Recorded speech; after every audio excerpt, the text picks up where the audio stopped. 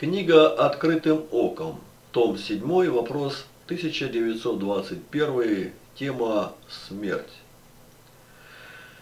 Говорят, что герои смерти не боятся, а их пуля боится и смерть не берет. Так ли это? Отвечает Игнатий Тихонович Лапкин.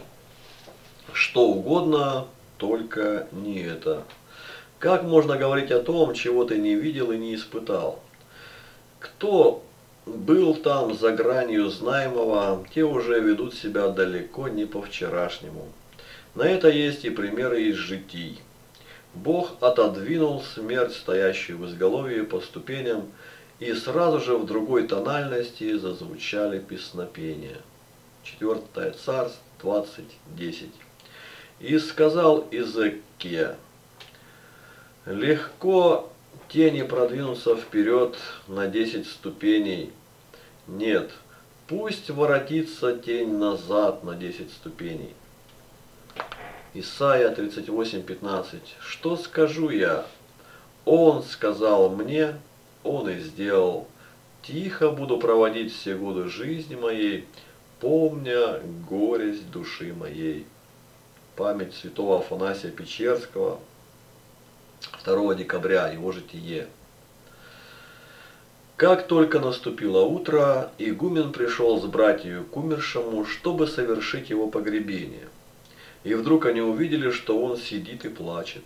Все пришли в ужас, видя, что он жив, и стали его спрашивать, как он ожил и что видел или слышал.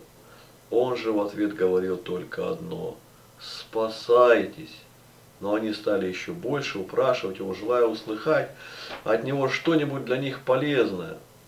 Тогда он сказал им, если я вам скажу, то вы не поверите и не послушаете меня. Братья же поклялись ему, что они соблюдут все, что он скажет им.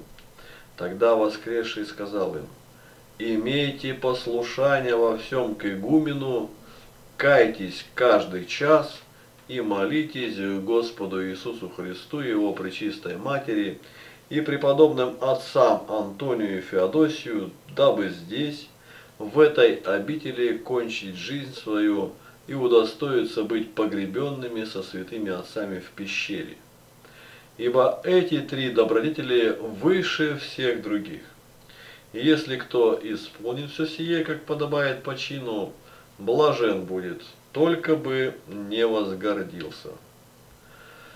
О прочем не спрашивайте меня, но умоляю, простите меня. Сказав это, он пошел в пещеру и, затворив за собой двери, пробыл там безвыходно 12 лет.